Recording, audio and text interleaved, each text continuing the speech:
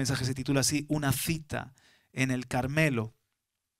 La palabra Carmelo es campo, literalmente en hebreo significa campo fructífero, viñedo de Dios. También jardín,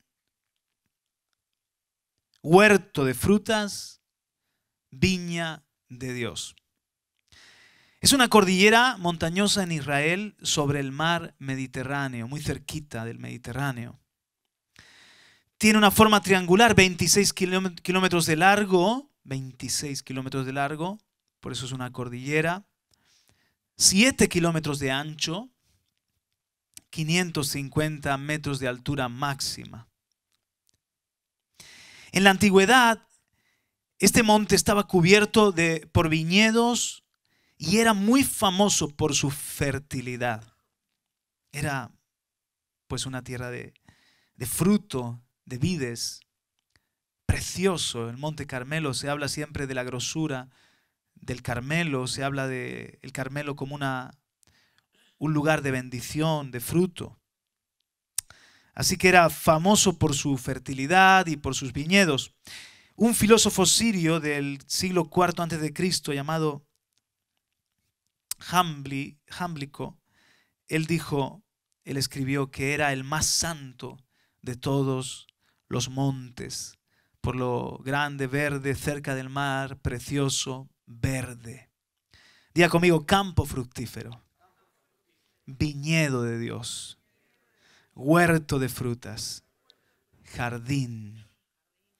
Entonces, por palabra del Señor hay una cita en el Carmelo. Como hemos leído, después de tres años y medio de no llover, de no llover, tres años y medio, había una sequía terrible. Hemos leído cómo Elías le dice a su siervo Abdías, mira a ver si encuentras algo de agua por ahí para que no se nos muera el ganado. Esto ya es algo como clásico, ¿no?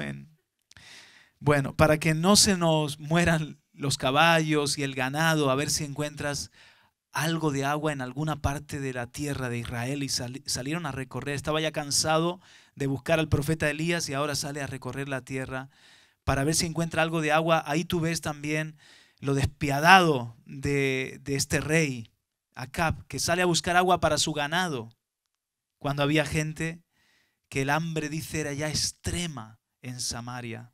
Era un hambre, hermanos, que en otras ocasiones llevó incluso al, al canibalismo, ¿verdad? O sea, una cosa, la gente enfermaba, moría, la tierra estaba seca, porque la tierra de Canaán depende de la lluvia temprana y de la lluvia tardía. No es como el Nilo, la tierra de Egipto. Es una lluvia que depende del, cielo. Y ya Dios había dicho, si ustedes son infieles, desobedecen mi palabra, cerraré los cielos, serán de bronce.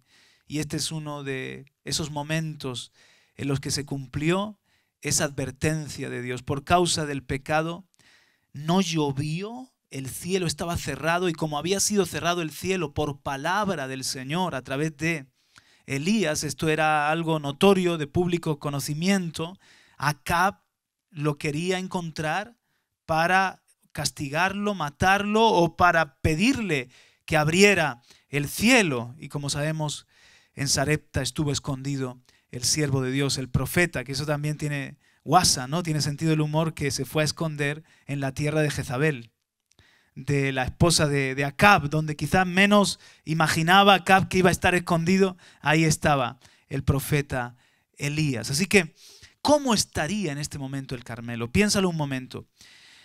Cuando vas a un lugar que ya de por sí es pelado, su geografía es árida, desiertos como el de Almería, estepas como la aragonesa, ahora la hemos recorrido en, el coche y uno ve que hay algunos montes verdes, pero mucha extensión eh, seca, yerma. Pues no se nota tanto el tiempo de la sequía porque siempre está pintado de amarillo el paisaje.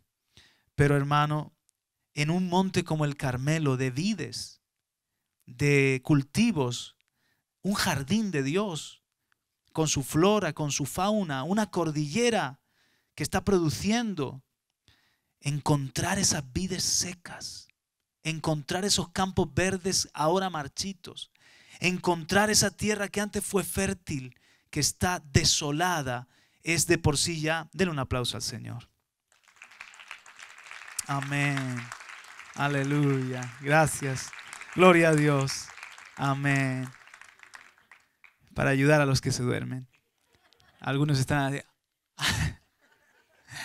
Entonces, eh, pues es, muy, es un contraste muy fuerte. Todos sabían que el Carmelo era, y además la propia palabra lo dice, Carmelo, viñedo de Dios, jardín de Dios, campo fructífero. Y llegar a ese monte imponente, a esa cordillera montañosa tan fértil y encontrar la tierra seca. Ver ahí los efectos de la sequía era algo que de por sí ya tenía un mensaje. Y escoge el Señor el Carmelo para una guerra de altares. 850 profetas falsos, los de la Sera y los de Baal, se dan cita y por otra parte un único profeta, el profeta Elías. El primer día es para los profetas de Baal y bueno, ya hemos visto lo que pasó. Fue un show, yo me lo puedo imaginar. Hicieron su altar, 800, casi mil profetas allí, habría de todo, música, danzas, expectación, la gente atenta, un gran público, atentos a lo que iba a pasar allí gritos, se sajaron. Eh, dice que llegó un momento que estaban frenéticos, como que eh, era el clímax cuando esperaban algo y Elías estaba allí sentado, me lo imagino, en una roca diciendo, ¡eh! ¿Está sordo vuestro Dios? ¿Anda de viaje? Se pasó de largo quizás, no, no, no, no sabía que era la cita aquí en el Carmelo. Un sentido ácido del humor tenía el profeta Elías, ¿no? Menudo carácter tenía este profeta y allí no pasó nada, pero llegó el segundo día, el día de Dios. No en el mismo día, el Señor esperó su día. Y en el segundo día le tocó el turno a Elías, que preparó el altar, todo lo que hemos visto, y ahí bajó el fuego del cielo. Hoy en día, el Carmelo también tiene un mensaje para nosotros. En la actualidad, la ciudad Haifa está parcialmente sobre el monte Carmelo. También otras localidades más pequeñas, Nesher y Tirat Carmel. Este monte en la actualidad, el monte Carmelo, es mundialmente conocido por varias cosas. En primer lugar, porque el culto a la Virgen del Carmen nació allí, patrona de Chile, y también adorada en prácticamente todo el mundo. Haifa es la tercera población en habitantes de Israel, del Estado de Israel, con 300.000 habitantes aproximadamente. Tiene el puerto más importante del Estado, como sabemos, en el mar Mediterráneo. Es el primer centro industrial y laborioso de Israel. Hay un dicho eh, entre los judíos, en Jerusalén se ora, en Tel Aviv se divierte uno, en Haifa se trabaja. La ciudad de Haifa es un motor económico para el Estado de Israel.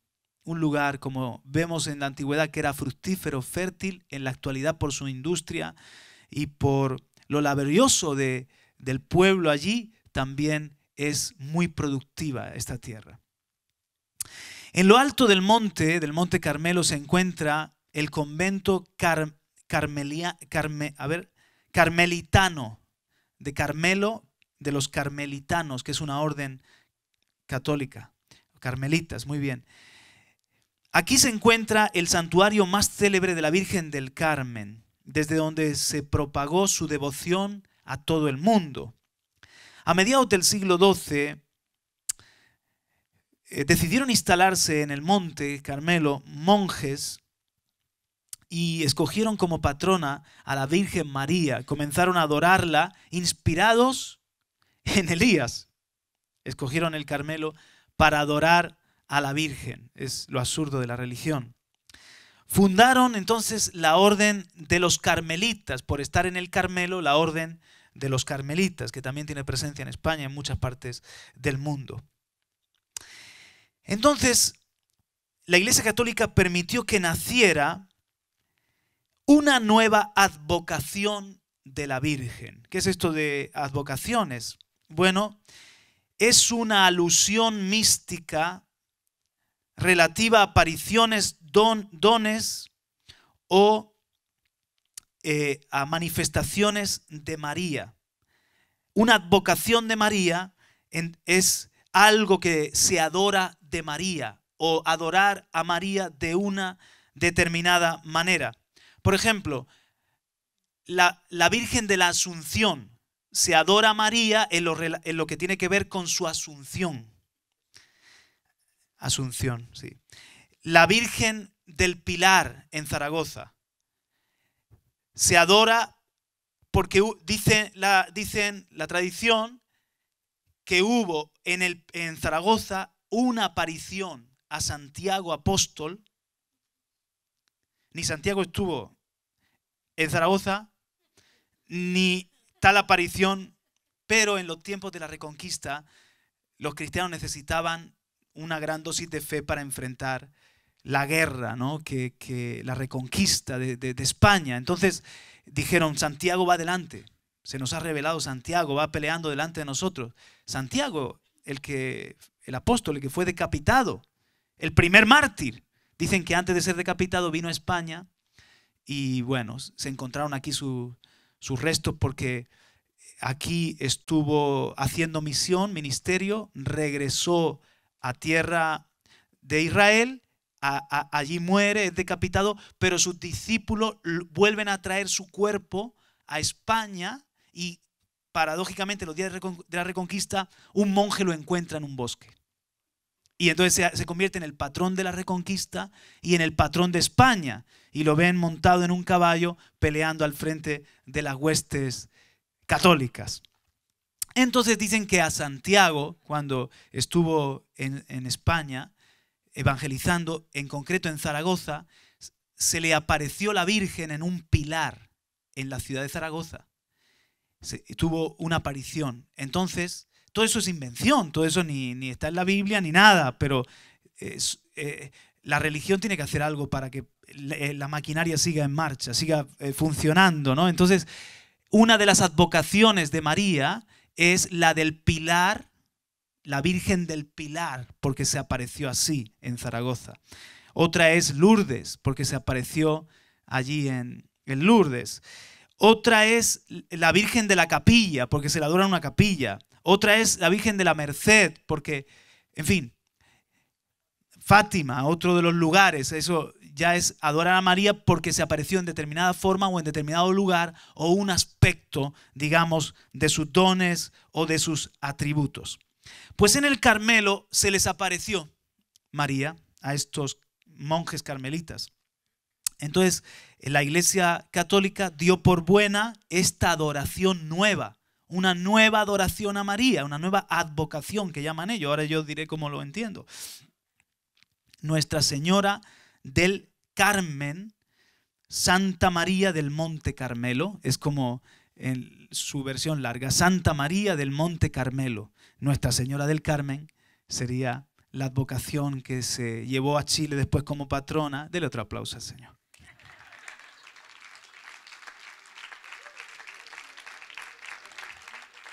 Van a pensar que aplaudimos a la Virgen.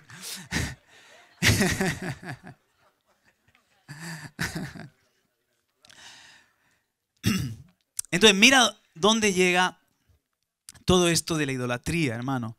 Que no solamente se adora a la Virgen, que no es bíblico, que nunca fue el deseo de María, porque fue María, ella fue una adoradora, y nunca fue la voluntad de Dios que se adorase a nada, que no fuera el Padre, el Hijo y el Espíritu Santo y sin necesidad de estatuas, imágenes, conventos, capillas, catedrales, bla, bla, bla, bla, bla. Pero no solamente se adora a María en sí, sino que tiene un montón de vírgenes porque hay un montón de apocaciones. Y tiene la Virgen negra, la Virgen de aquí, la Virgen de allá, así como de Jesús, el Cristo del gran poder y el niño Jesús y el sagrado corazón de Jesús y diferentes ¿eh? idolatrías, un montón de cosas para que cada pueblo se identifique con ella, pero detrás de esos ídolos hay demonios. ¿Verdad? Entonces esto pasa en, allí en, en, la actualidad, en el Carmelo, que es un lugar de peregrinación también en este sentido de María. Ahora, en la falda del monte Carmelo también está el santuario del Bab. Él fue un religioso persa que fundó una nueva religión, el babismo. No porque se les cae la baba, sino por su nombre. Eh, siglo XIX en el siglo XIX. En el seno del Islam, este religioso de origen persa funda esta religión. Pues bien, allí en la falda del Carmelo está el Centro Mundial Bahá'í, que tiene que ver con esta religión.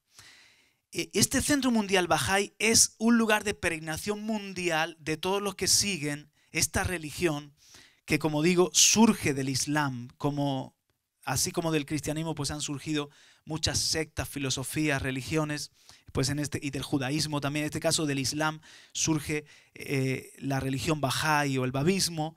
Y aquí hay un centro mundial de peregrinación, pero ahí es un, es un lugar que eh, es una atracción turística de la, la ciudad de Haifa, porque tiene una escalinata y un templo, bueno, una cosa impresionante. Entonces lo que yo quiero que veáis es que en la actualidad, como el enemigo, en este lugar donde hubo una guerra de altares y que es tan emblemático en la Biblia, han surgido tres altares. Tres altares. Es como que los ha plantado el diablo, porque el diablo ha llenado la tierra de altares. Hay una serie de mensajes que compartimos aquí, guerra de altares y también guardianes del altar, y yo creo que eh, tú también enseñaste acerca más acerca de, todo esto, Tony. Y bueno, y hablar del altar es muy frecuente para nosotros por cómo Dios nos ha revelado la adoración y nos ha revelado lo que es el altar en el nuevo pacto, en el Espíritu. Pero lo que quiero que, veáis es que el altar es muy importante para el reino de las tinieblas. ¿Por qué? Porque eh, el altar de Dios, el altar, la adoración representada en el altar, la adoración, comunica el reino de Dios con la tierra, abre un camino de ida y vuelta entre lo invisible y lo visible. El altar para nosotros es muy importante porque le, llevamos a Dios nuestra ofrenda y abre una vía también, abre los cielos para la bendición de Dios. Entonces el diablo, que es un imitador y que sabe que detrás de todo altar idólatra, de todo altar falso y de todo ídolo hay un demonio, también ha llenado la tierra de altares para comunicar el reino de las tinieblas con lo natural, para, para de alguna forma abrirse paso él, hacer un camino de maldición, no de bendición. Entonces, hay altares de diferentes formas. Nosotros que venimos de Bolivia, pues hay una guerra allí impresionante de altares entre el pueblo de Dios que está clamando, que está ayunando, que está en vigilias, que está en cadenas, de clamor a Dios porque están viendo cómo el reino de las tinieblas con furia está queriendo eh, destruir y afectar la nación. Entonces, eh, eh, hay un altar a, la Pachamama, a los dioses ancestrales, hay, hay, hay brujos en, el chamanes, hay, hay, hay personas pagadas que están en, los lugares de gobierno, hay sacrificios en directo, hay un sacrificio continuo al reino de las tinieblas. Eh, cuando se invistió el presidente actual, eh, no solamente como presidente elegido democráticamente, sino como, digamos, príncipe de, los pueblos de la antigüedad y, y sacerdote mayor. Y entonces se está promoviendo, hay sacrificios de animales, pero también en el mundo espiritual, hermanos, eh, hay, hay, hay, una ofensiva impresionante para hacer de Bolivia una nueva, otra Venezuela, otra Cuba. Extrayendo todo eso que están trayéndolo para acá. Lo que está frenando, del otro aplauso al Señor, aleluya, bendito sea su nombre. Entonces, fíjate eh, cómo ah, es manifiesto, o sea, hay, hay, hay una... Lo que está frenando en Bolivia que esto pase es que la iglesia está gimiendo, está clamando, está intercediendo. Lo único que puede parar ese altar del, del reino de las tinieblas es un altar de Dios. Es el altar de Dios que abre la bendición y que, y, que mueve muchas cosas. Indudablemente también hay que hacer, hay que votar, hay que eh, manifestarse, hay que pelear en, el terreno de la educación, en, en muchas formas hay que pelear. Pero la base de todo, cuando hay restauración, lo primero que se restaura siempre es el altar. En estos días había que volver el corazón a Dios, había que restaurar el culto a Dios. ¿Qué es lo que primero se restauró? En el Carmelo, el altar. Y cuando, como sabemos, cuando había que restaurar Jerusalén después de los 70 años de, cautiverio, lo primero que hacen es levantar qué? El altar. Y comenzar a ofrecer sacrificios. ¿Para qué? Para adorar a Dios, entregarse a Dios, en esas ofrendas ellos entregarse a Dios y que el Señor pueda bendecir y que eh, haya una comunión, haya un cielo abierto sobre Jerusalén y una comunión entre los hombres y Dios. Entonces el reino de las tinieblas en el Carmelo, en este momento actual, en la actualidad, yo veo tres altares levantados. El primer altar es de la idolatría, en este caso la religiosidad católica, el altar a, a la Virgen del Carmen, que desde ahí ha salido esa, detrás de ese ídolo no hay nada, es una imagen, pero en el momento en que los hombres lo veneran y lo adoran, hay una potestad del reino de las tinieblas que está detrás operando, un demonio, y hay también un altar porque se le lleva adoración y ofrenda, etc. Número dos, otro altar que son religiones falsas, paganas, como esta del babismo y el centro mundial, Bajá y, todas, y todas esas mentiras, todos esos engaños, eh, que son revelaciones demoníacas, todos son revelaciones demoníacas. La aparición de María se apareció. Pero no se apareció María, se apareció un demonio, vestido de ángel de, luz, vestido de, María, pero son, revelaciones demoníacas para que el diablo está contento si los hombres adoran cualquier cosa, las piedras, las vacas, eh, estatuas, eh, falsos dioses, falsas religiones, mientras que no vayan al único Dios verdadero. Y claro, si hay una adoración ya directa para él, mucho mejor. Pero él, como sabe que lo único que le puede hacer daño en la tierra es el altar al Dios verdadero, Él intenta derribar el altar, debilitar el altar, anular el altar al Dios verdadero, que los hombres no adoren a Dios y adoren cualquier otra cosa. Por eso es una guerra de altares. Entonces, está el altar de idolatría que hemos visto en el Carmelo, de la Virgen del Carmen. El altar este de esta religión que un islámico, un musulmán, pues tuvo una revelación de unir a todos los hombres en torno a una filosofía y, él como una representación del verdadero Dios y una invención demoníaca para pam, pam, fundar una nueva religión, que así surgen las sectas y todas las nuevas religiones. Y el tercer altar es un altar que yo diría incluso puede tener hasta más... Eh, presencia en el mundo entero. Hemos dicho que vete hoy para allá, para esta ciudad eh, Haifa, y vas a ver un Israel próspero, moderno, trabajador, pero vas a ver un Israel que es como cualquier otra nación. Es decir, incredulidad, que me importismo, pasotismo, indiferencia, una, una religión de labios, pero tú vas a ver que el, altar es el trabajo, es el dinero, es el tener. Y ese es el altar, el Dios del dinero, el Dios de mamón, el Dios de, del trabajo, en el que muchos en ese altar dan su vida entera. Viven para consumir, viven para trabajar, viven para tener, y, ese es su altar. En el Carmelo, están este, en este momento estos tres altares como mínimo, y seguro que hay más. Pero como mínimo están estos tres altares. Y Dios ha levantado un altar de Elías en el tiempo moderno y la respuesta es, no les voy a pedir que den otro aplauso, ya, ya me, gloria a Dios, en algún momento el mensaje damos un aplauso, pero ya, ya me doy por vencido. En el tiempo moderno, Dios ha mandado a levantar un altar como el, de Elías. No. ¿Por qué? Porque estamos en los días que dice el Señor, ni en este monte, ni en Jerusalén, ni con altares de piedra, sino que los verdaderos adoradores adorarán al Padre en espíritu y en verdad, en todo lugar y sin necesidad de depender de nada físico. Ese es el altar de hoy poderoso que puede tener un impacto los adoradores en espíritu y en verdad. Pero el Carmelo sigue quedando para nosotros como una gran enseñanza.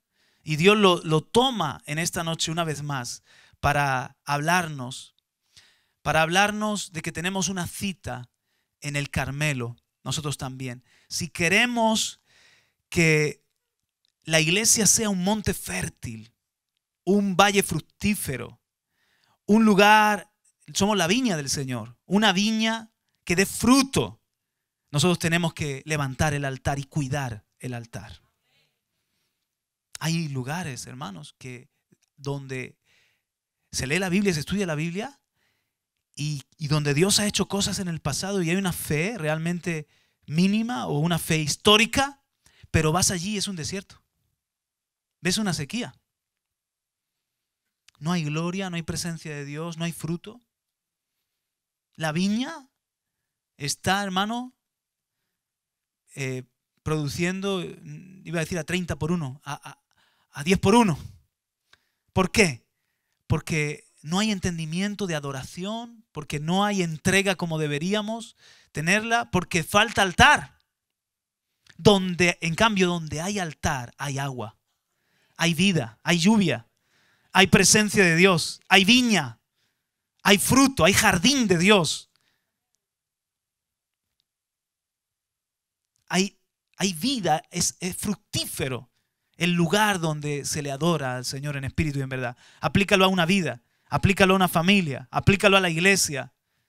Donde hay altar, hay bendición, hay lluvia, hay cielos abiertos, hay fruto, hay verdor. Entonces el Señor nos llama a ser como el Monte Carmelo, pero como el Monte Carmelo, hermano, después de tres años y medio, cuando empezó a llover, tú imagínate cómo bebía esa tierra la lluvia imagínate cómo corrían, porque no vino una pequeña lluvia, dice que vino mucha lluvia, gran lluvia, fuerte lluvia. Entonces tú imagínate cómo otra vez se llenarían los canales de agua, cómo otra vez absorbería la tierra el agua y, y si pudiesen hablar los árboles, ¿qué harían sino cantar al Creador y dar las gracias? Y cómo otra vez la semilla que se queda, porque la vida está ahí, la semilla se queda enterrada, oculta, otra vez con la humedad y con el agua, reverdecería el campo, la hierba, las flores, las viñas, las vides. Todo el Carmelo vuelve a levantarse con gloria, cobra vida. Y eso es lo que necesitamos en la iglesia, hermanos. Un avivamiento, una resurrección, un, verdor, un renuevo de Dios. La lluvia tardía, tuvimos la lluvia temprana, en el primer siglo necesitamos la lluvia tardía de Dios. Y eso no viene sin altar. Están viéndolo, ¿verdad? Entonces, ¿qué ingredientes tenía el altar de Elías para que bajara fuego del cielo? Dicho sea de paso, no tengamos en poco nunca un altar. Nunca lo tengamos en poco, porque la salvación nuestra fue por el altar de la cruz del Calvario. En Hebreos capítulo 13 dice que tenemos derecho de comer de ese altar refiriéndose al sacrificio de Jesús en la cruz. ¿Por qué? Porque Él fue un sacrificio vivo. Él fue un holocausto, una ofrenda, no con fuego, pero con el fuego de amor, sí que se entregó al Padre.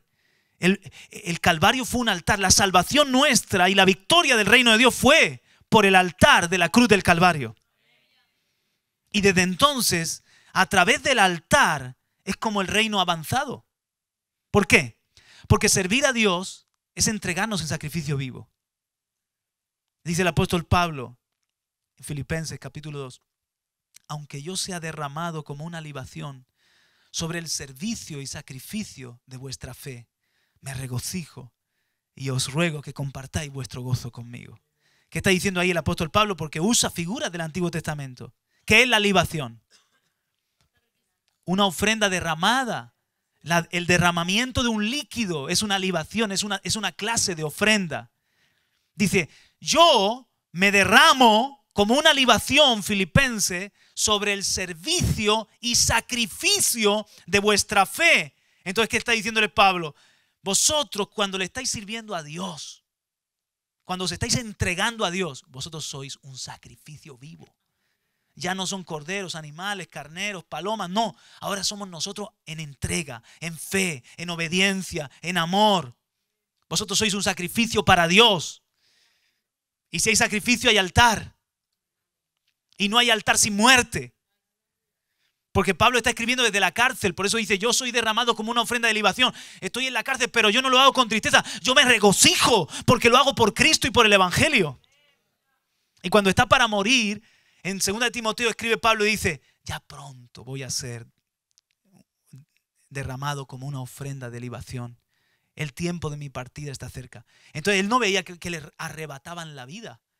Él sabía que cuando Nerón le, cuando le decapitara Nerón, iba a ser una libación para Dios. Si Dios lo permitía, lo permitía él mismo, su muerte era altar, adoración, una muerte, pero que iba a dar fruto. Aleluya.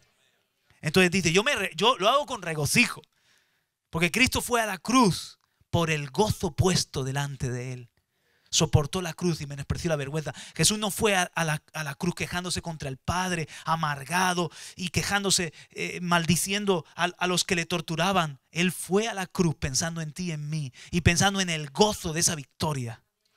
Y soportó la cruz menospreciando la vergüenza. Ese altar fue con muerte, fue con entrega, pero hubo gozo también. Y Pablo dice, seamos un sacrificio, seamos una libación pero regocijémonos que merece la pena porque nuestra ofrenda le agrada a Dios y además hace que el reino avance, que las almas se salven, que la palabra se siga extendiendo. Para eso estamos en la tierra, para darnos al Señor como un holocausto, como, como una ofrenda en el altar. Amén, hermanos. Entonces el altar no hay que tenerlo en poco. Ahí estaban 800, porque a veces decimos, wow, ¿cuántos altares falsos? ¿Cuántos que están equivocados, que van detrás de ídolos, o, detrás del altar del trabajo y no quieren saber de nada más, o que están en, filosofías extrañas. 850 frente a uno. Es casi mil contra uno. Pero Dios estaba con Elías. Dios estaba con su profeta. Esos 850 tuvieron un show gritos, frenesí, se sajaban. Oye, estaban metidos en su papel. Como mucha gente que todo lo que hace lo hace con sinceridad, pensando que está en la verdad. Pero dice, nadie respondió. Nadie respondió. Hasta los demonios, porque muchas veces la gente hace cosas y los demonios le responden. O creen que en Fátima no hay, no hay milagro. O en Lourdes. ¿Qué creen? Que los demonios no hacen milagros para... El diablo prefiere tenerte próspero y en el infierno. ¿O no? ¿O no hay artistas que hacen un pacto con el diablo y el diablo dice, te voy a prosperar, te voy a poner el mundo a tus pies, te voy a dar todo, pero el pacto que tú me das tu alma. Tú, tú te vas conmigo al infierno y con tu música y tu arte o con, o con tu carisma o, o con tu posición alta, influye para... Y muchos de esos artistas en sus conciertos levantan un altar pero además manifiesto. Es un altar con sacrificio y de todo. Y la gente ahí, ¡ah! Y, próspero y famoso y en la revista, eh, ahí están y con mansiones y, tranquilo. El enemigo tranquilo. Próspero, pero para el infierno. En cambio, muchos siervos de Dios, afligidos, que andaban de caverna en caverna, maltratados, que nadie les tenían por locos, nadie les tenía en cuenta. Dice, pero de los tales el mundo no es digno. hombres de un calibre que el mundo no es digno de ellos. Eran una ofrenda, pero que iba para el cielo. Que subía para el cielo. Den un aplauso, aleluya. Amén. Entonces, no pierdo el hilo. Lo que estoy diciendo es que muchas veces el diablo hace milagros, hace sanidades. Son, la Biblia dice señales engañosas. Y, se revela, y revela, el, y revela el futuro. Y se aparece cuando buscan en el espiritismo eh, conectar con, con antepasados, pues hay demonios familiares que conocen la vida del antepasado y se hacen pasar por mi tía Marujita que me va a decir lo que va a pasar con el nuevo novio que me he echado. Y se cumple y todo.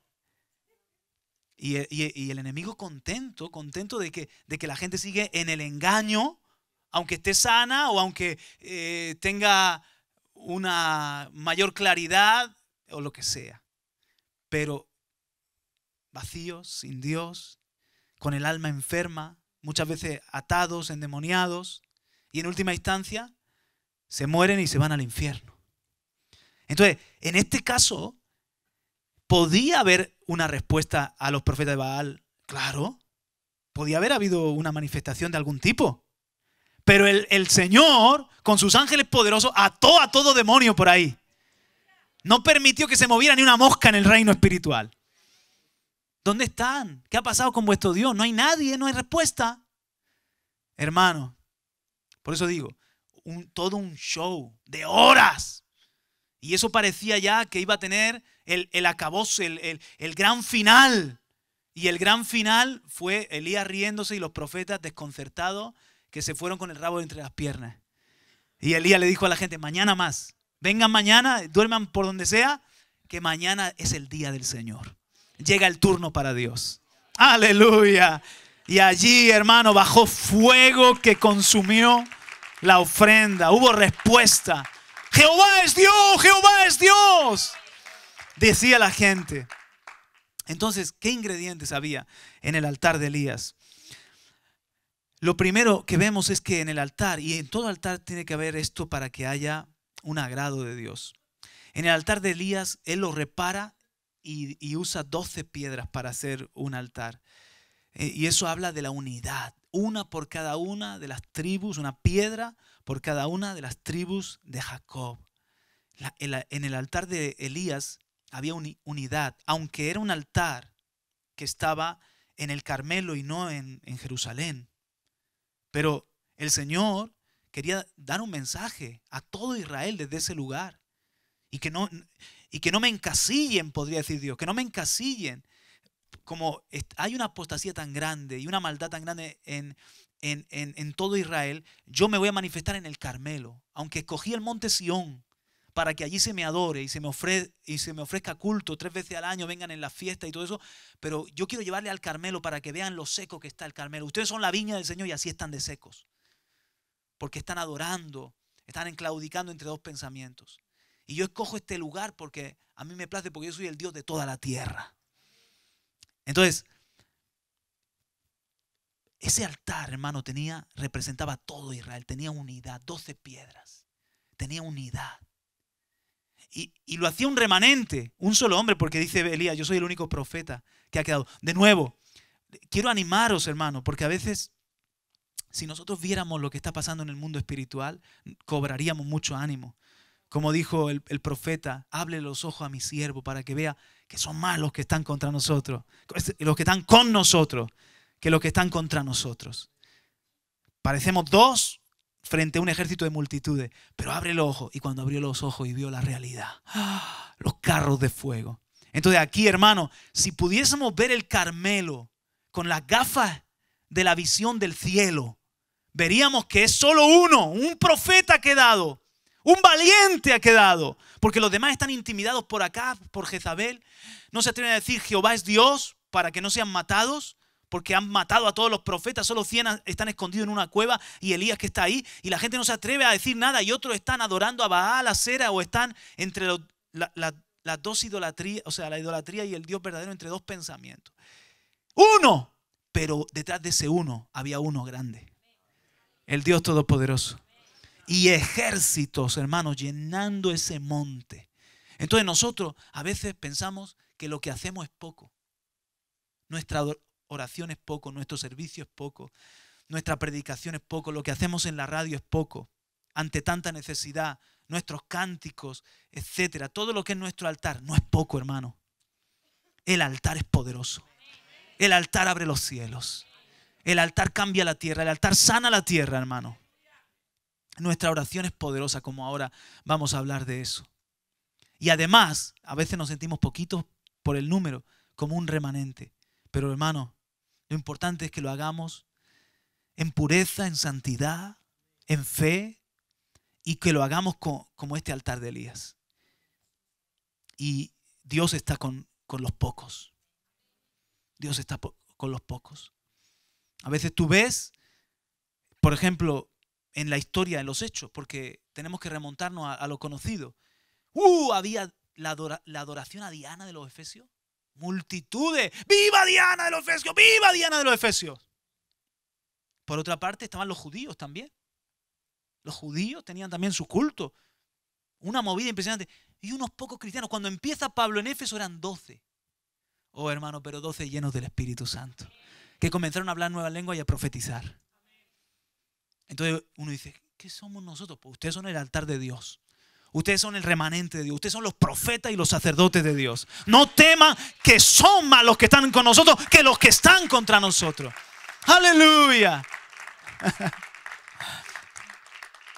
Ahora, si los doce están peleados, tres por aquí, tres por aquí, tres por allá, ahí ya ¿Qué problema es? Por eso tiene que haber unidad. En el altar tiene que haber unidad. Eso vamos a aplicarlo nosotros. Tenemos que estar unidos.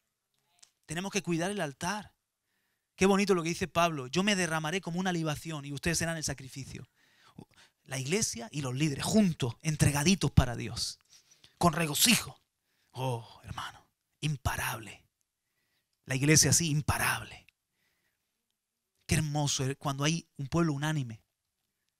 Unidos, unánimes.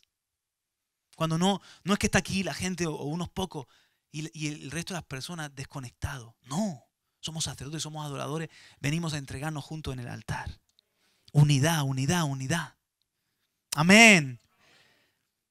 El diablo va a intentar separar las piedras, romper altares, meter el espíritu de, individualismo, de separación, de creernos también, y esto para cerrar el punto de la unidad, creernos los únicos. Cuando nosotros estamos levantando altar tenemos que entender que somos parte de una iglesia, que nuestro altar no es diferente y aparte del resto de nuestros hermanos. Cuando nosotros adoramos aquí los domingos, nosotros somos uno con el resto. Ahora, no siempre podemos estar en un lugar físico unidos. Hay veces que se toca una trompeta y hay una convocación y ahí tenemos que estar. En las trompetas de Dios. Unirnos. Como hemos tenido muchas convocaciones de Dios. Este mismo año, pues nosotros estuvimos allí apoyando y siendo parte de lo de los 500 años de la Reforma. ¿Verdad? Participamos. ¿Están conmigo, hermanos? Participamos de, de, otras cosas que se hacen a nivel regional. Pero no siempre se puede. Pero lo importante, porque esto Dios mira el corazón y esto se sabe en el mundo espiritual. Lo importante es que nosotros entendamos que somos un solo altar. No hay uno por aquí y otro por allá y, y, el mío es mejor que el otro, el del otro es mejor que el mío. No, no, no, no. Porque Dios no tiene 20 iglesias, tiene una sola esposa, una sola iglesia. Amén. Cuando yo estoy allí en, en Bolivia y vamos al culto, entonces pasamos por avenidas donde hay iglesias grandes tan grandes que se ponen los puestos afuera a vender de todo porque hay una afluencia de miles. Oh, hermano, ¿y, sabes lo que a mí me da? Un gozo de decir, ahí van mis hermanos. A veces me, darían ganas de, entrar y adorar con ellos. Pero tenemos que hacer lo que Dios nos ha mandado a hacer. Pero ahí van mis hermanos a adorar al mismo Cristo que yo adoro, que resucitó al tercer día. Entonces, ahí hay una iglesia, y paso por otro, ahí hay otra iglesia, ahí van los hermanitos bien guapos a darle eh, el culto al Señor. Entonces nosotros estamos ahí y estamos en nuestro pequeñito grupo que hemos empezado a los pies de rey en, Santa Cruz. Pero no, no, no, estamos como sintiendo, oh, hemos llegado. éramos tan necesarios, los salvadores de Bolivia. no, ni mejores ni nada. Eso son tonterías y, carne y sangre. Somos uno, con, somos parte de la iglesia. Dios quiso sembrarnos y levantarnos, pues hagamos nuestra parte, pero somos uno con el resto de, de, los hermanos. Dios no ve 20 iglesias, ve una iglesia. Y Él conoce los que son suyos. Amén, hermano. Entonces, la unidad. Cuando en el altar hay ese componente de unidad. Hmm, reparó la unidad. ¿Qué más tenía el altar de Elías? El altar de Elías tenía fe. ¿Qué tenía el altar de Elías? Fe. O oh, una fe. Elías sabía que Dios no está de vacaciones. Elías sabía que Dios tiene oídos y oye y responde y ve. Elías sabía que no iba a quedar en vergüenza ese día en el Carmelo. Elías tenía una confianza tan grande que tú lo ves su fe cuando le dice al, dice al criado, dile acá que se oye el estruendo de mucha agua, de mucha lluvia. Mano, pero todavía no había empezado a llover, la sequía todavía estaba ahí, pero él, se está, él está moviéndose en la palabra de Dios. Él, él está haciéndolo por la fe de lo que Dios le habló. Entonces ya está anunciando ya está anunciando, dile que se prepare, que va a caer una, que viene una gran lluvia. Está hablando, porque nosotros, ¿cómo es la cosa? ¿Primero vemos y luego creemos? ¿O primero creemos y luego vemos? ¿Y cómo es la cosa? ¿Vemos y hablamos o hablamos y entonces vemos? Si crees en tu corazón que Jesús es el Señor, si confiesas con tu boca que Jesús es el Señor y crees en tu corazón que Dios le levantó a los muertos, serás salvo. Lo crees, lo confiesas y tu nombre se escribe en el libro de la vida. Un día lo vas a ver, aleluya. Entonces Elías lo está creyendo, no lo veo, pero lo creo y lo está confesando ya. Viene una gran lluvia. Y hermano, cuando ve la nube, dice, su criado vuelve y dice, se ve una, una nube, yo la veo ahí, pequeñita. Maestro, la verdad, la verdad, que la lluvia no va a ser tanto como usted dice. Se ve como una mano de un hombre. Y dice Elías, ya viene, ya está ahí, ya, ya, está, ya está llegando la respuesta de Dios. Él lo ve, hermano, lo ve hecho. Qué hermosa fe, la, fe de Elías. La fe de Elías también fue fidelidad. La palabra fe también es, es de la misma raíz que fidelidad. Fidelidad porque todo el pueblo estaba entre dos pensamientos, pero él estaba de parte del Señor.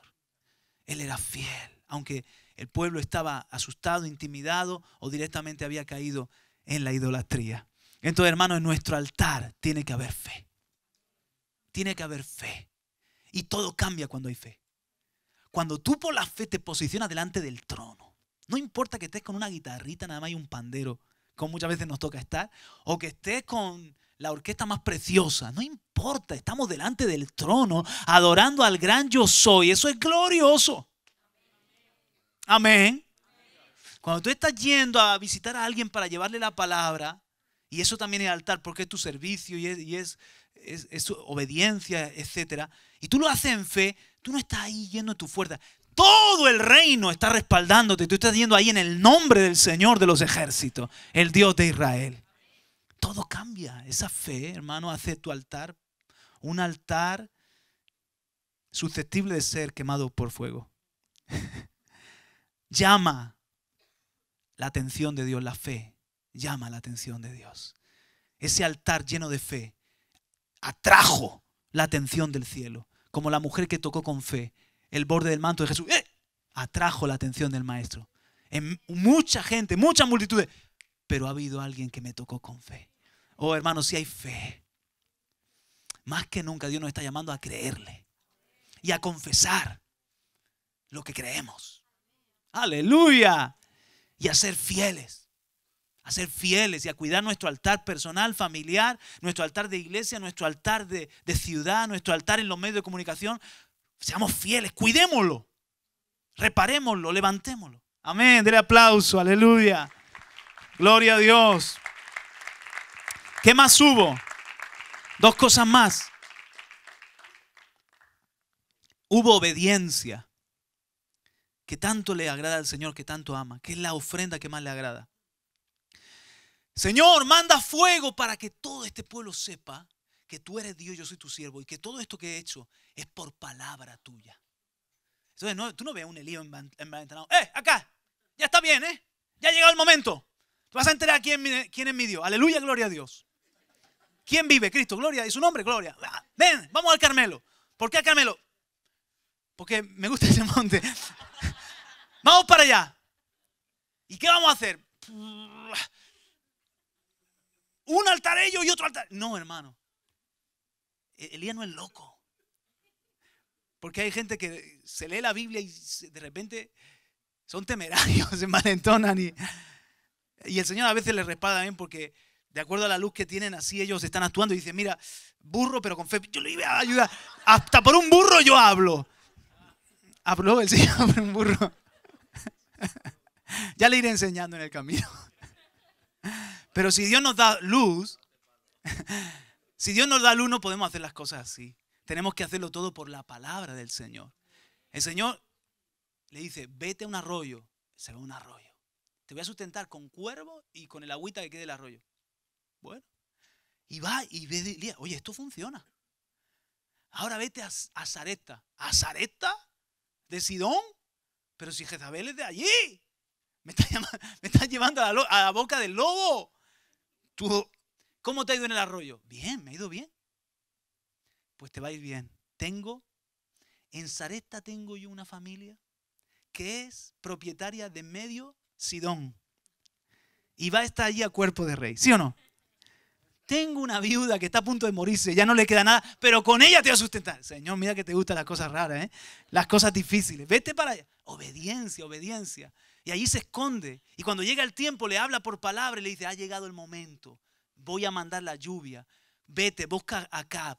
Quiero que os deis cita en el Carmelo. Quiero que levantes un altar a mi nombre. Pa, pa, pa, pa. Todo esto, Señor, que este pueblo sepa que yo todo esto lo estoy haciendo por palabra tuya. Y por eso es que Dios se agradó y mandó el fuego de la aprobación. Entonces, hermano, démosle al Señor la obediencia, el altar más precioso, el altar de la obediencia. Amén. A veces incluso haciendo cosas que uno dice, Señor, esto suena como, como que, yo no lo haría así, yo no, no, no, no haría esto en mi humanidad. Pero yo cada vez veo cuando le obedecemos al Señor, el Señor está contento. El Señor está feliz. Y el Señor manda el fuego de su agrado y de su aprobación. Aleluya. Ánimo, hermanos, obedezcamos. Y la otro, lo otro que no faltó en el altar fue la libación, doce cántaros. En, en, días donde el agua era el bien más escaso. ¿De dónde lo sacaría? No lo sé, porque hasta el rey había ido a buscar por todo lugar agua para sus caballos y para su ganado. Pero doce cántaros derramó, hermano. Entonces, qué ofrenda con libación. Y eso me habla a mí de entrega total. Libación es derramar como las mujeres que derramaron el perfume completamente. Es una, es una entrega radical. Es una entrega como Dios no, no, comprende otra entrega. Porque el Señor no se da si no es con, con derramamiento, con libación. Él se nos da así, totalmente. Entonces, en ese altar hubo una entrega con libación, una entrega con totalidad, un vaciamiento. Así que vamos a, repasarlo. Repite conmigo, unidad, fe, que también es fidelidad, obediencia y entrega total. Ahora después, y aquí entro en algo, digamos, con un tono más profético. Después, fíjate que todavía no ha venido el fuego del cielo, y el Señor le dice a Elías, sube a la cumbre. Dicen que en el Carmelo, yo también lo he visto en foto, no he estado ahí. Me gustaría un día ir, oye, de, esos lugares que uno le dice, me gustaría ir a Haifa y, al Carmelo. Entonces hay balcones desde donde se ve el Mediterráneo, como promontorios o lugares donde uno puede apreciar desde la cumbre el, mar nuestro, el mar nostrum, el, el Mediterráneo. Entonces Elías estaba orando, dice que puso el rostro entre sus piernas. Eso es en el antiguo oriente señal de humillación, adoración y, lógicamente, intercesión. Entonces el altar continuó. Porque nosotros no dependemos de un lugar ni de unas piedras. El altar lo llevo yo dentro, conmigo siempre. El altar somos nosotros los adoradores. Amén, hermanos. Entonces, el altar continuó porque le dice, ahora fíjate que si todo se hizo públicamente ante todo Israel, esto fue más privado. Se va él con el siervo, con el criado, a la cumbre del Carmelo. Y si por boca suya se había cerrado el cielo, ahora se va a abrir. Vamos a Santiago para terminar en el capítulo 5, este texto tan conocido. ¿Están conmigo? ¿Pueden darle al Señor unos minutitos más? Santiago en el capítulo 5, ¿verdad? Y verso 16, Santiago 5, 16, Santiago, que no estuvo Santiago en Compostela, en Zaragoza. Este es otro Santiago, es el hermano del Señor, pero usted me entiende. Cuántas cosas locas, hermano. Santiago 5:16. Por tanto, confesaos vuestros pecados unos a otros y orad unos por otros para que seáis sanados. La oración eficaz del justo puede lograr mucho. Elías era un hombre de pasiones semejantes a las nuestras y oró fervientemente para que no lloviera y no llovió sobre la tierra por tres años y seis meses. Y otra vez oró, y el cielo dio lluvia, y la tierra produjo su fruto. Literalmente dice en Santiago 5:16, cuando dice la oración eficaz del justo es la palabra súplica. Y es una palabra que tiene un componente de necesidad, ¿verdad? Si tienes sed, pides un vaso de agua. Si, no sé, te, te van a matar a un hijo o te lo van a llevar preso, te tiras de rodillas y suplicas por la vida de tu hijo. No es lo mismo pedir que suplicar. ¿Me están entendiendo, verdad? El hombre de la, que Jesús puso de los, de los deudores se tiró al suelo y le suplicó al rey, por favor. Suplicó, por favor. Porque se lo iban a llevar esclavo a él, a su mujer y a sus hijos. Ten paciencia conmigo y todo te lo pagaré. Es una oración con desesperación, con gran necesidad. Por eso se traduce orar fervientemente más abajo. La oración eficaz del justo es la palabra súplica. La súplica eficaz del justo. Verso 17 dice, Elías era un hombre de pasión semejante a la nuestra y oró fervientemente. Y la palabra allí es oró con oración. O también se puede traducir así. Sí, literalmente dice así. Y Elías oración oró al Señor. Oración oró al Señor.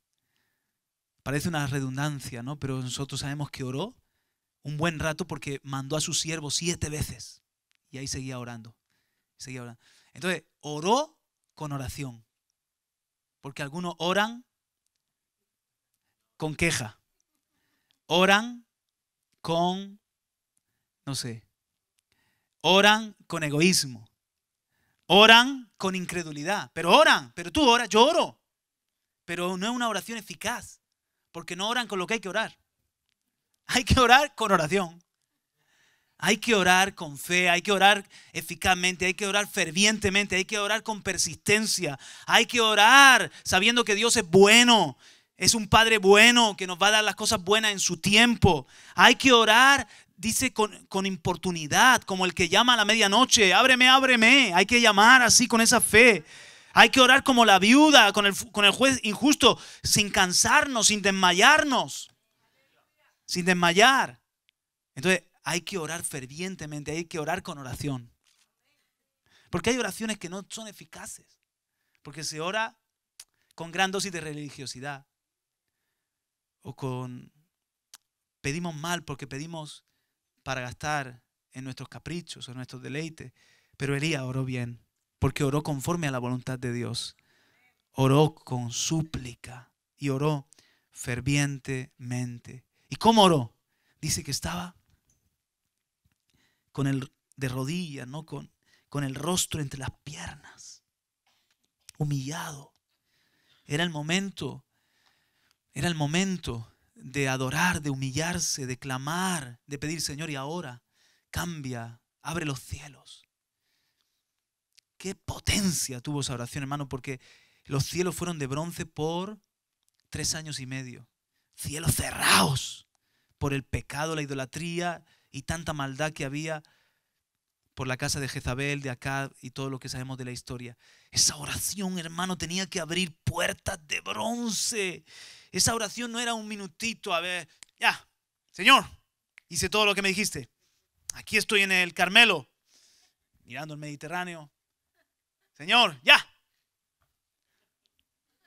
The rain is coming. La lluvia, que venga. It's rain again. Aleluya.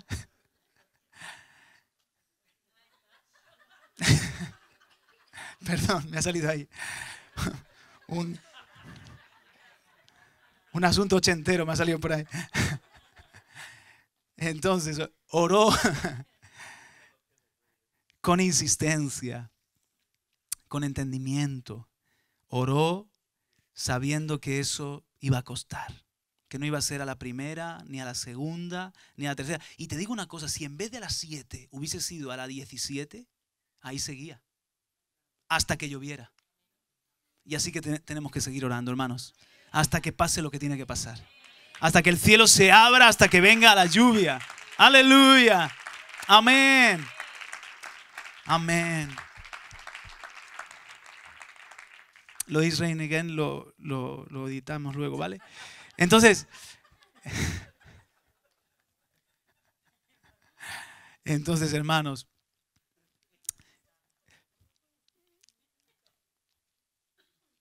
no sé si contar esto aquí o, o no contarlo, pero voy a decir lo, lo, profético de este mensaje. Y es que nosotros somos un pueblo de altar, hemos levantado altar, cuidamos los altares y tenemos que meterle, hermanos, toda esta fe, la unidad, el empeño, ser guardianes, celar nuestros altares, porque entendemos la trascendencia y el poder y que es nuestro llamamiento en definitiva. Pero Dios nos está diciendo, sube más alto sube a la cumbre. En el Carmelo es altar también, pero hay una cita más alto. Sube a la oración ferviente.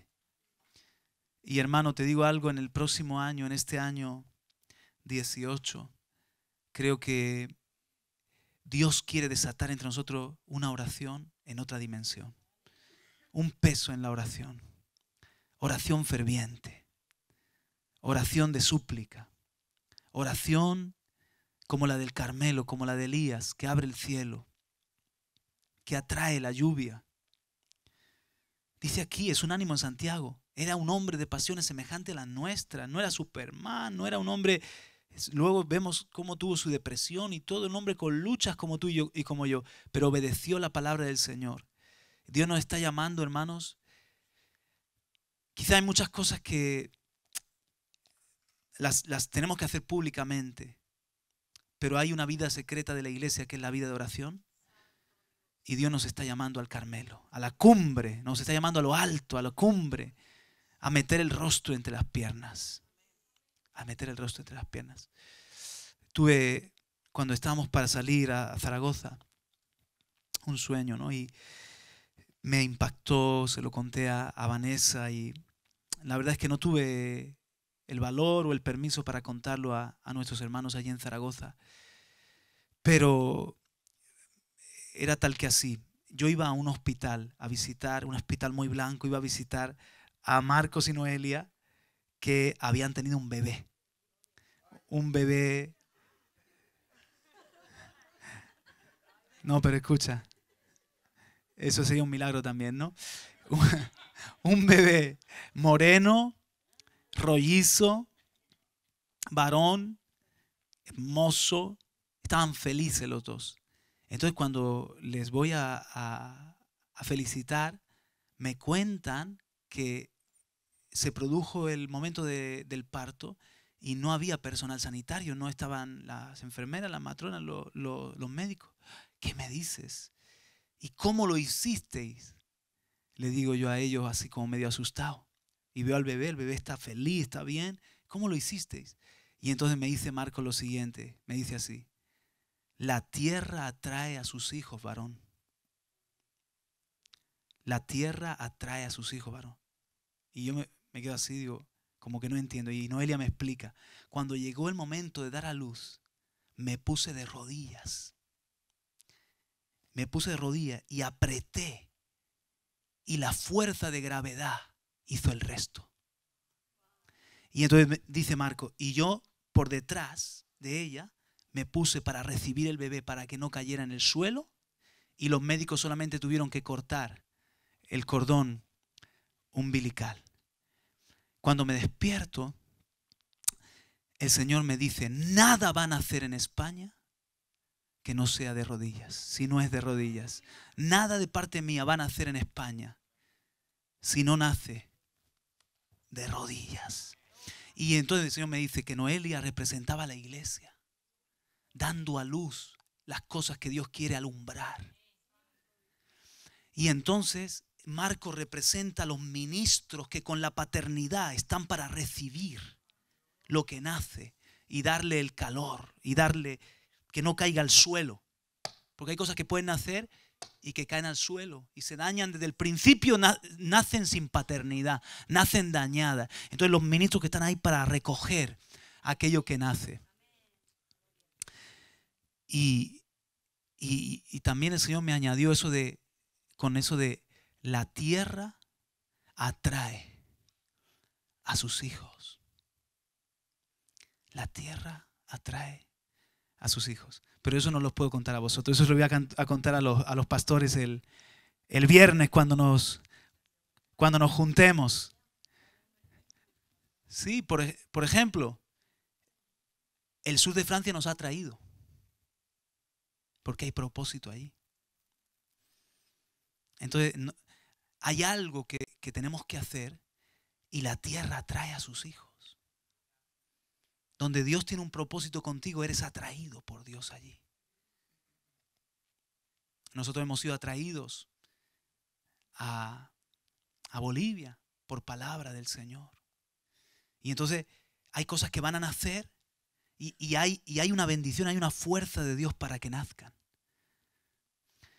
Nada van a nacer, hermanos, que no sea primero clamando, orando fervientemente y de rodillas. Dios nos llama a otro nivel, que no lo tenemos, pero que Dios nos lo muestra, a subir más alto, a la cumbre, a la cumbre del Carmelo. Es, es altar todavía, pero hay algo que añadir a nuestro altar. Unidad, fe, obediencia, fidelidad, entrega total, oración ferviente oración ferviente. Hay algo que el Señor quiere desatar en este año como un avivamiento de oración. Aguantad el entusiasmo, cuidado con el corazón, se puede...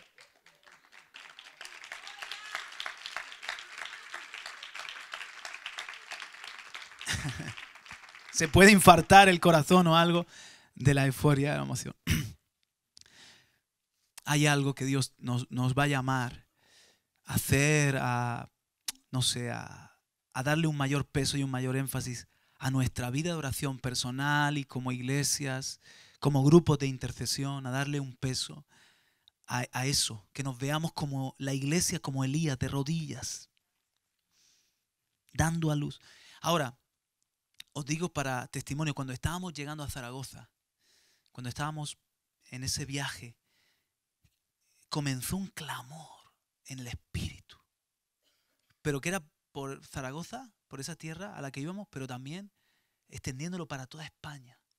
Un clamor en nosotros, con lágrimas, un clamor que yo sentía que era un clamor de lo alto del Carmelo, muy pequeñito, pero Dios nos está llamando, hermanos, a, a parir en oración muchas cosas.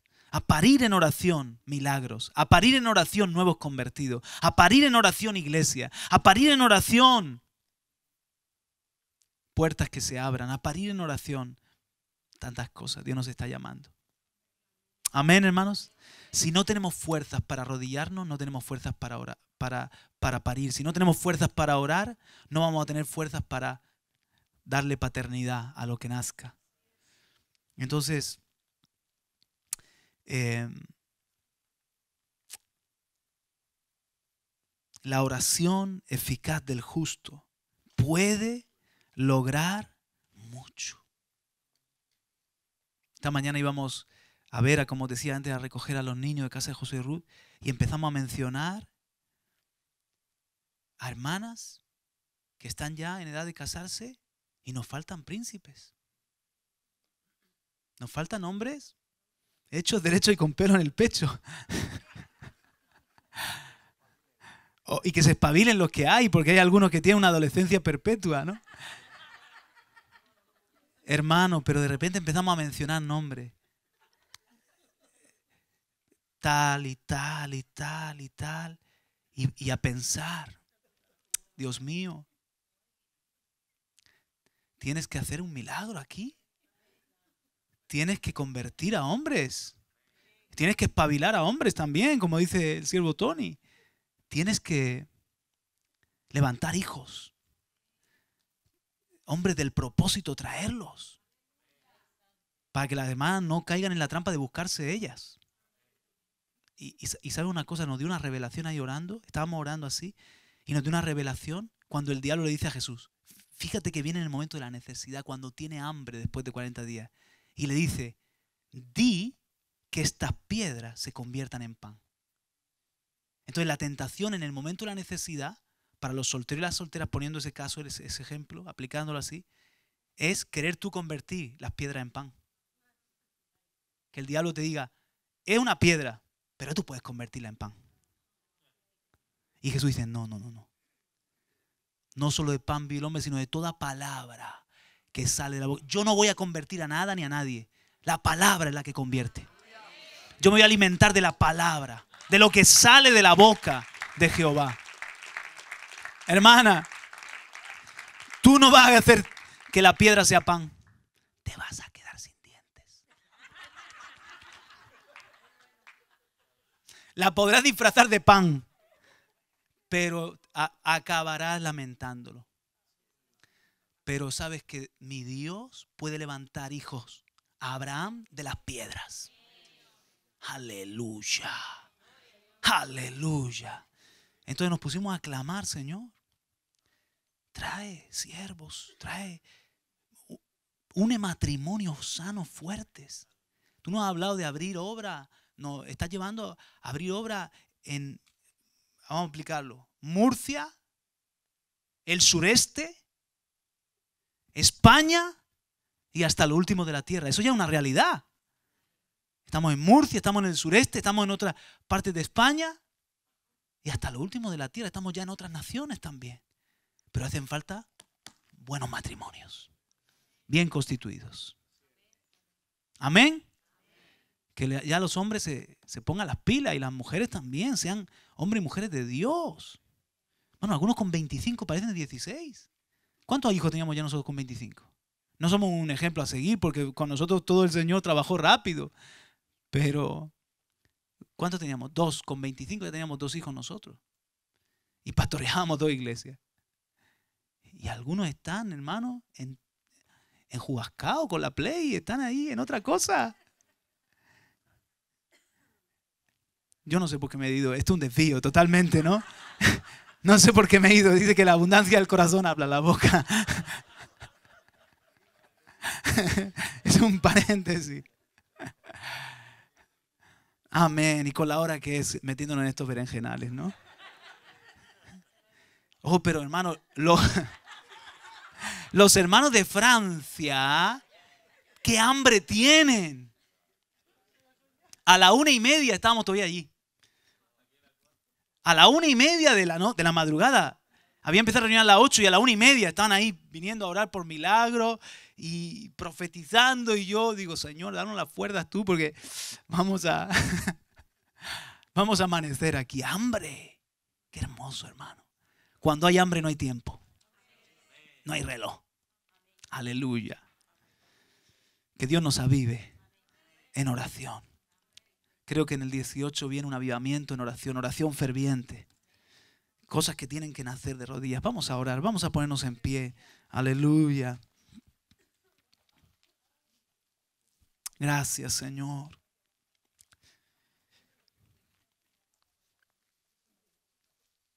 Gracias, Señor, por hablarnos tu palabra, Padre. Oh, Dios mío, gracias, Señor. Oh, Dios, gracias, gracias, gracias. Oh, Sharia, Rabatu, Aranda, Ramashe, Araba,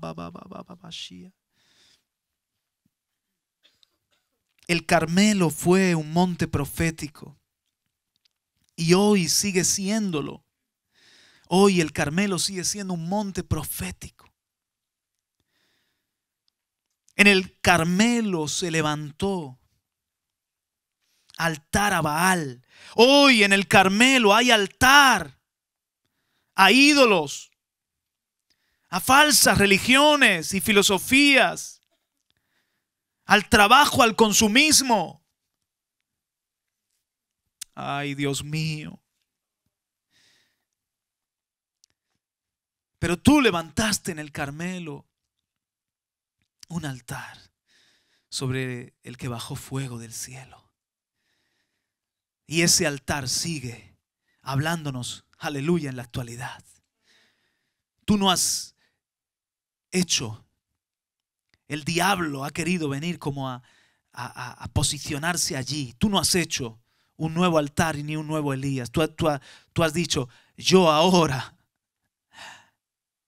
he llenado la tierra de Elías. He llenado la tierra de altares.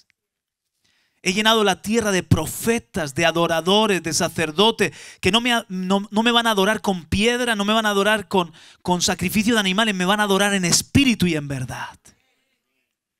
Y yo les voy a contestar con la misma fidelidad con la que contesté a Elías. Está para llover en España, Señor. Está para llover en España. Queremos decir que viene lluvia, Señor. Aleluya. Queremos decir que viene lluvia para esta tierra seca. Viene lluvia. Ni vemos la pequeña nube. Pero decimos, prepárense, porque viene mucha lluvia. Una fuerte lluvia. Y no va a llover, Señor, en, en un lugar Tú quieres que llueva en toda la tierra. Donde hay altar lloverá. Donde hay adoradores lloverá. Donde hay un remanente que clama y que gime y que sabe postrarse, allí tú dices, allí hay una iglesia que puede parir. Porque se sabe postrar. Porque están suplicando, suplicando, clamando, clamando. Y entonces ahí, puedo yo alumbrar a los Eliseos. Aleluya. Ahí yo puedo alumbrar a los hijos del propósito, a los hijos del reino. Oh Señor, Dios mío. Gemimos, clamamos. Aún esto que hemos hablado, medio en broma, pero no es ninguna broma, Señor. Necesitamos hombres. Hombres que te tomen en serio, Dios mío. Que sean piadosos que sean valientes, que te pongan primero. Levanta, hijos, Padre, levanta, Eliseos, levanta. Dios mío. Oh, a una iglesia que es capaz de abrir el cielo. Porque tú nos has dado las llaves para cerrar y para abrir. Enséñanos a usar las llaves, Señor. Oh, ayúdanos a cuidar el altar, Padre. Pero llévanos también a, una altura superior en, el clamor, en la oración. Esto no es solamente para el grupo de intercesión, esto es para todos. Eh, como, como pastores, Te rogamos, Señor, cómo nosotros podemos, Señor, alinearnos con tu corazón, alinearnos con, con tu palabra, con lo que tú quieres hacer. Porque nosotros somos los primeros, los que tenemos que ir a la cabeza. ¿Cómo nosotros podemos, Señor, meter el rostro entre las piernas? ¿Cómo podemos, Señor, Dios mío, ser parte de un avivamiento de oración, de una oración ferviente que puede lograr mucho? Porque hay mucho por lograr, hay mucho por conquistar. Danos, Señor, instrucciones, danos, Señor, palabra. ¿Cómo le diste palabra a Elías? Y que todo este pueblo sepa que he hecho por palabra tuya todas estas cosas. Danos palabra, danos instrucciones, guíanos, Padre. Porque entonces es cuando es efectivo. El altar y la oración es eficaz. Gracias, Señor, Padre por mostrarnos estas cosas, Padre. Oh Dios mío, los profetas de Baal tenían frenesí, gritos. Tenían la fuerza del número. El apoyo de los reyes. Comían a la mesa de Jezabel. Y un simple Elías, vestido con piel de camello, cinto de cuero, sustentado por una viuda con pan y agua. Pero era tu siervo. Era tu siervo, Señor. Que supo reparar el altar, que supo oírte, que te creyó, que te obedeció. Queremos ser tu siervo, Señor. Sin pompa ni artificio sin mirar a la derecha ni a la izquierda, solo mirarte a ti, Señor. Ayúdanos a obedecer. Ayúdanos, Señor. Ayúdanos, Señor. No queremos un Carmelo seco y árido. Queremos ver la tierra dar fruto. Queremos ver, Señor, el río correr, las vides cargadas, que huela a lluvia, que huela a vida, que huela a verdor. Hay lugares, Señor, que son un cementerio, aunque se invoca tu nombre. Oh Dios mío, pero las semillas están ahí esperando que llueva. Semillas sembradas en la antigüedad están ahí. Oraciones sembradas en la antigüedad están ahí esperando que llueva. Esperando que una iglesia sepa postrarse, sepa clamar a ti, Señor. ¿Cuántas cosas están por nacer? ¿Cuántas semillas están por brotar, por germinar? Solamente hace falta que venga la lluvia. No sé cómo decir esto, pero la lluvia hizo que apareciera Eliseo. Eliseo era una semilla que se manifestó tras la lluvia porque iba detrás de la yunta número 12, arando la tierra. ¿Por qué estaba orando de nuevo la tierra? Porque había vuelto a llover, porque ya se podía otra vez sembrar. Así que la lluvia hizo que brotara lo natural, pero también lo espiritual. Santo Jehová. Ay, Señor Dios mío.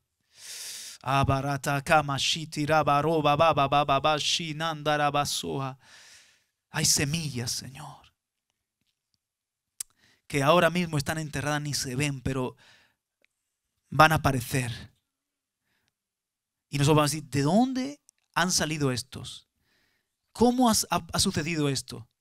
Y el Espíritu Santo nos va a recordar este mensaje y nos va a decir, porque ustedes acudieron a la cita del Carmelo, porque ustedes clamaron, su oración fue la lluvia. Oh Señor, gracias por tu palabra, Señor. Le creemos a tu palabra, Señor. Hablamos en fe, en esperanza, no sin realismo, porque Elías era consciente de, de lo que había pasado durante tres años y medio y de lo que todavía estaba en, el poder y en la autoridad, Jezabel, Acab y todo lo demás. Pero él profetiza. Viene un cambio de tiempos. Viene el día del Señor. Ya ha pasado el día de Baal y de la cera. Ha llegado el día de Jehová. Del altar de Jehová. Del fuego y la lluvia. Y nosotros profetizamos que es el día del Señor. El día del Señor. El hoy del Señor. Todo pasó en la hora del sacrificio. Santo. Elías esperó la hora del sacrificio de la tarde. Honrando la instrucción. El momento de la adoración. Santo. Aleluya. Oh Señor. Lo veo en mi espíritu. Lo veo en mi espíritu, Señor. Te vas a mover con remanente, pero te vas a mover. Aleluya. Lo sobrenatural, lo milagroso.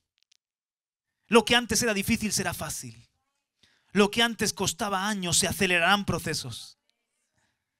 Aleluya. Porque será mucha lluvia, gran lluvia, fuerte lluvia, mucha cosecha. Oh Dios mío, gracias.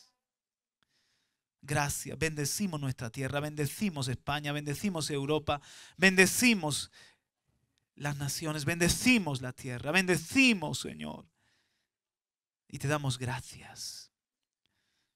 Mientras el Acab se fue a comer y a beber, Elías subió a orar. Santo Jehová. Y así pasará los hombres seguirán comprando, vendiendo en sus placeres, en sus negocios. Nosotros nos dedicaremos al propósito. Gracias, Señor. Levante la mano al cielo. Aleluya. Si yo quiero acudir a la cita del Carmelo, Señor, de todo corazón, díselo tú también. Yo quiero acudir a la cita del Carmelo, Señor. Oh, yo quiero ver al Carmelo reverdecer, Señor. Yo quiero ser parte de que se abran los cielos, Señor. Gracias. Dele aplauso al Señor. Aleluya. Gracias, Padre. En el nombre de Jesús. Aleluya. Amén. Gloria a tu nombre, Señor. Grande es Jehová. Grande. Él es el Señor. Jehová es Dios. Jehová es Dios ningún santo, ninguna virgen, ninguna religión. Jehová es Dios. Oh, rabababa, no mamón, no el placer. Jehová es Dios. Suya es la tierra.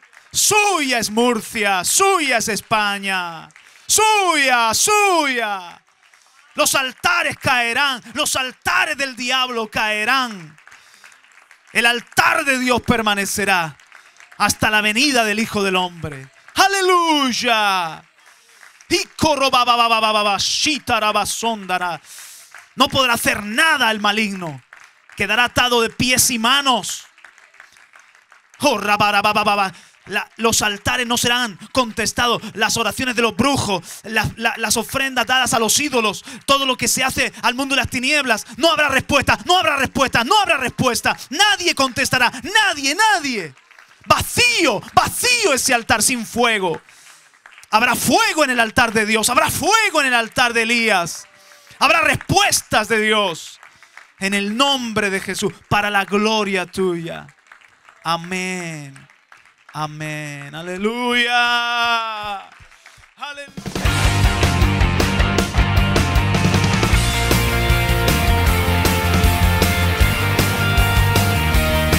los pies del Dios de amor.